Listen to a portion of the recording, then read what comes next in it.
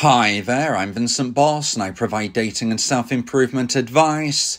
And in today's podcast, we're going to be discussing the painful reality for the dumper.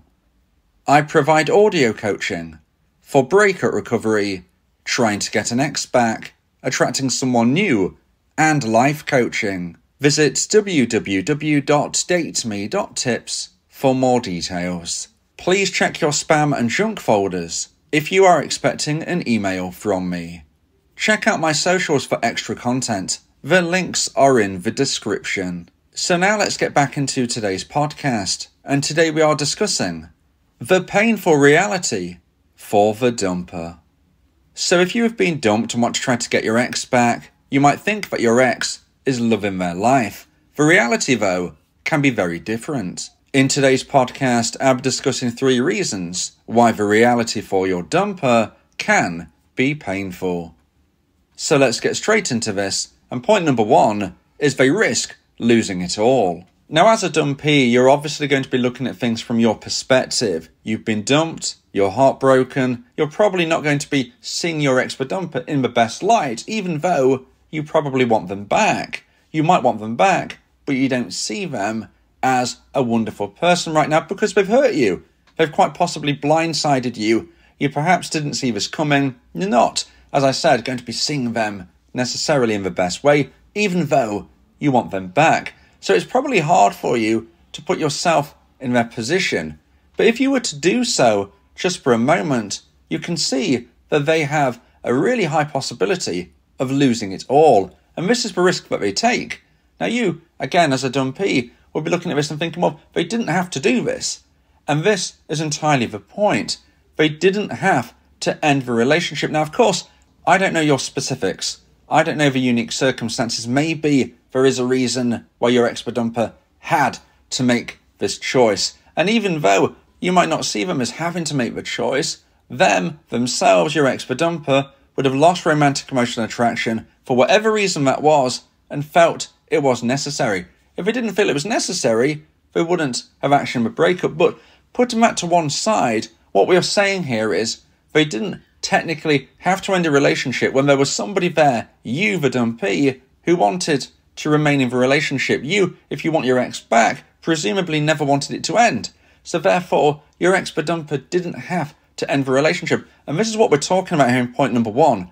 They risk losing it all. It's like they've gone to a casino and they've decided to put all of their money on red or black, and now they're waiting for it to spin round to see whether they win or whether they lose. And losing would be that they never find a romantic relationship that fulfills them.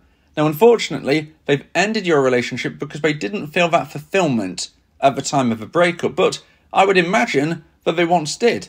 Because if they never did feel that connection with you, they would have never been in a relationship with you full stop. So, what that shows is your connection did have, at least in the past, it had a lot of good things about it. That's why you two were together. So, if we consider it in this way, we can imagine that it's possible for you to reconnect. We can imagine that it's possible to regrow that attraction, to regrow that vibe. And so, from your perspective, as I'm sure you're thinking right now, but from a perspective of others, including your ex dumper, there is a possibility that you two are a good match because you were before. So they've decided to go to this metaphorical casino. They've bet on red or black, you know, whichever we're going to pretend that it was, and now they're waiting for it to spin round and to see whether it lands because they've made the choice to move forward on a different path. And if they don't find anybody who they deem to be a better match, well, it could be argued that they've lost it all. When it's Christmas Day, when it's New Year's Eve, when it's their birthday, when it's whatever day on the calendar might mean something really special to you and your now ex. If they aren't with anybody special, that is going to pull on them, just as I am sure satellite does to you right now, just as you don't necessarily look forward to those days if you're not in a relationship. Well, your ex dumper is not going to want to be alone either. And that's the point. That's the point of point number one. It is a risk, it is a gamble. They've had something in the past, it's not quite worked out, unfortunately, from their perspective, and they've just ended things rather than trying to solve a problem, rather than trying to work through things, rather than trying to maintain the relationship, they've decided to end the connection with you, go on their own path, and risk it all. Because if they don't find anybody who is a better fit, who is a better connection, who is somebody who fulfills them, then what was the point in ending the relationship? This is the risk. This is the situation that they now find themselves in. Now, I'm not expecting you dumpees to feel sorry for your ex, like we've said. They've made their choice. The whole analogy of you've made your bed, you now need to lay in it. But it is just interesting to see and to think and to consider because as dumpees, we often feel that our ex is living this incredible life.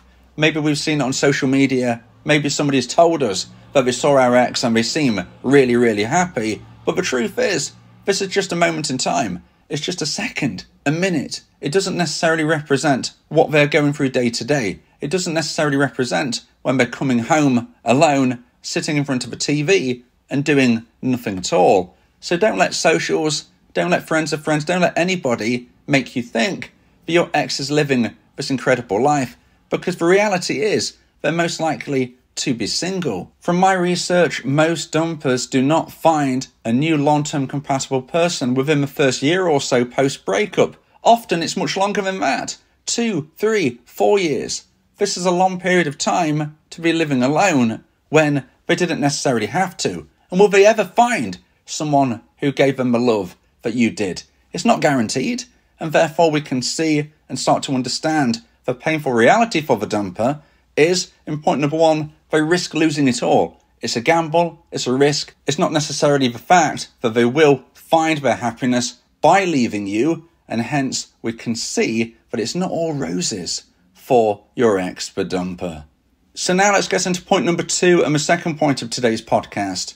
Please like this video if you're watching on YouTube, and if you have a new hype feature, please hype this video as well. If you like my content, subscribe to the channel to keep updated. And point number two is by creating a better version of you. Now, you might be listening to this as a dumpee and thinking, what do you mean? Creating a better version of me. I feel terrible. I feel really upset.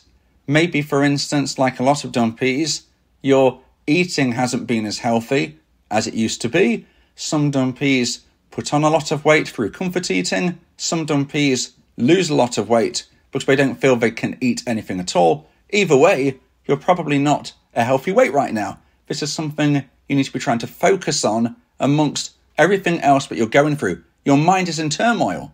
And therefore, when I'm saying in point number two that they're creating a better version of you, you're probably shocked and misunderstanding what I mean. But I'm talking in the long term. And the long term prospects of dumpees is really, really good. Most dumpees, although you're going through the grind right now, will come through and out the other side of that dark, bleak tunnel. You've got to keep moving forward. If you stand still, you will never do it. You've got to keep going through that dark, bleak tunnel, but you will come out the other side into the light of happiness. And when you do, you will become a version 2.0 of yourself. You will be somebody who was better in every single way than your expert dumper knew. And this is another one of the points of today's podcast about the painful reality for the dumper is that they ended a relationship with you as version 1, and yet the person that you will likely become, version 2.0, is not someone that they are with. So they, in essence, have created a situation which is probably and hopefully going to cause you the motivation to go through self improvement. Now, I'm not saying it's completely down to you as why this relationship didn't last the test of time. I'm not putting all of that blame on you, but what I am saying is motivation is likely found in human beings when we're going through difficult times. Most people who are living lives that they would deem as somewhat okay are going to find it much harder to be motivated to get to the next level. So, what I am saying is that although I'm not putting blame on whoever caused the breakup per se, what I am saying is that they've ended the relationship, you're heartbroken, and you are more likely to use that pain as fuel to push yourself forward. You might not feel that way now, you might not feel that way in six months, but you will get to the point, hopefully sooner rather than later. Hopefully, I can motivate you sooner than that, but you will get to that point where you do start growing. When you do start growing, you will become a better person than your expert dumper ever knew. Ironically, you could be a person physically, mentally, spiritually, skillfully, in all ways that your expert dumper certainly feels more connected with. And this is why, incidentally, that dumpers are more likely to want to come back to you if you do go through that self improvement. So, if you want to get your ex back, this is exactly what you need to be doing. But here is the reason as to why it can be painful for the dumper, because although that might sound kind of great, okay, yes, I've left my ex, but now they're an even better person. Well, that's great. I can just go back to them. But what if they can't? And this is where, as a dumpee, you might find this somewhat surprising for me to say, but lots of dumpees turn down their ex. Lots of dumpees turn down their dumper. You might think that you'll never turn them down. You might think you would never say no. You might think if your ex contacted you, you would definitely say yes, please come back now. But that's because you're listening to this at the stage of where you are still craving your ex. And if you keep moving forward in a positive way, becoming a better person today than you were yesterday, and a better person tomorrow than you are currently today, you will get to that stage of where you're no longer craving your ex to the point of where if they reach out to you, you're definitely going to accept what they say and reconnect. No, in actuality, what is likely to happen is if your expert dumper reaches out to you in the future when you've gone through your self improvement, you're probably going to be keeping your options open because you will now be attracting better people than your expert dumper. Now, remember what I said a moment ago. When you feel that your life is going somewhat okay, it's much harder to find the motivation to push on. That is where your expert dumper falls in. They feel their life is kind of going okay. They ended your relationship. They didn't really blame themselves per se. They're moving forward kind of okay. It's not great. It's not amazing. It's kind of all right. And that is why they don't find that motivation to go through self improvement. So they're probably going to be very similar to the person that you remember, but you are not going to be very similar to a person that they remember. You have improved, they haven't. What does this mean? You are getting more and more attention from new people. New people are showing you attention, and some of those people you would not have been able to attract back in the day because the version one of yourself wouldn't have been attractive to these new people, but the version 2.0 is. They are higher value, you are higher value. These are the people that you can now connect with. Your expert dumper decides to contact you. Guess what? Even though you can't believe I'm saying this right now, you turn your dumper down. You decide to give a relationship a try with someone new, someone who hasn't hurt you, someone that seems more physically, mentally, and spiritually attractive to you compared to your dumper. You don't see it coming, but it happens, and you decide to give it a try. And this is why, in point number two, when we're talking about painful realities for your dumper, they are, in a sense, making you a better person. But what this means is they're making you a better person for someone else. It's not even for them. So this is that painful reality. They've left you. They've seen you from afar grow as a person. They've decided they want to come back, and now you are that better person. You've turned them down, and you're dating someone that they look at and think, well, they're better than me. And that is a painful reality for dumpers. They can't understand how when you were together, you were version 1, they leave you, you become version 2, and not only that, when they want to come back, you say thanks, but no thanks, I'm going to go with this other person that they recognise as being better than themselves. That is a real painful reality for dumpers.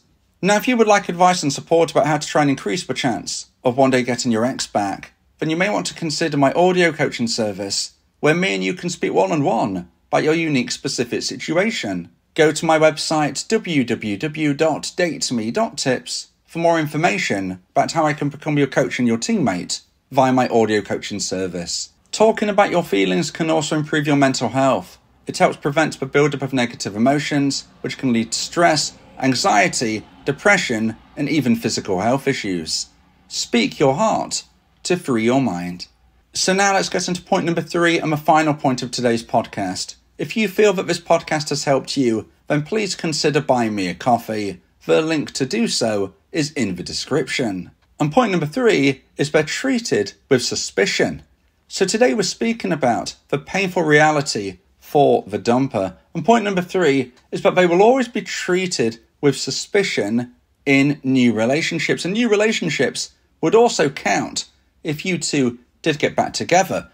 Now, remember in point number two, I said that you would likely grow as a person, they would likely get to a stage of where they want to reach out again, and you might turn them down. Well, that doesn't always have to be the case. You might decide you want to give your ex dumper a chance. You might decide you would still like to reconnect. But this is a situation where you will then see them and look at them with suspicion. You'll be thinking, well, we were together, you then randomly blindsided me and dumped me. I don't know if I fully trust you. And this is going to be something which causes the dumper challenges. There is going to be trust issues between you. Now, if you want to get your ex back, you need to both forgive one another. It's the only way forward. You can't carry suspicion with you. But just because I'm saying that you can't, it doesn't mean that you won't. This is going to be a challenge. Now, if you and your ex don't get back together, or maybe you do in the future, but before that point, they do go on a date with somebody else, this is something which sadly could take place, but they might still reconnect with you later down the line. But anyway, if they do date someone else again, they will be judged with suspicion. Because when they talk about their relationship history, like everybody does when they meet someone new, and they have to get to that point where they say, Yeah, I ended my last relationship. Well, as soon as somebody hears that, they're thinking, Why? Why did you end your last relationship? And they're thinking to themselves, Is this person going to dump me? Do I even give them a chance? Are they somebody who doesn't commit to relationships? Are they someone who doesn't give things a try? Do they believe in throwaway culture? Are they just going to end things without any effort? Are they not going to put in the work? Are they a quitter? This is what someone new is going to be thinking. So, whether it is you, because your expert dumper has come back, or whether it is somebody else, your expert dumper is going to be treated with suspicion when it comes to new relationships. Why did you end your last relationship? Whether you're thinking, well, it was me, and I find it even more painful because you want to come back and I don't trust that you won't just do this again, or if it's someone new who's thinking, I don't know if I want to give this person a chance, because if we hit one small bump in the road, they're just going to dump me. Whoever it is, you, somebody new, your expert dumper will be treated with suspicion, and this is definitely a painful reality for your dumper.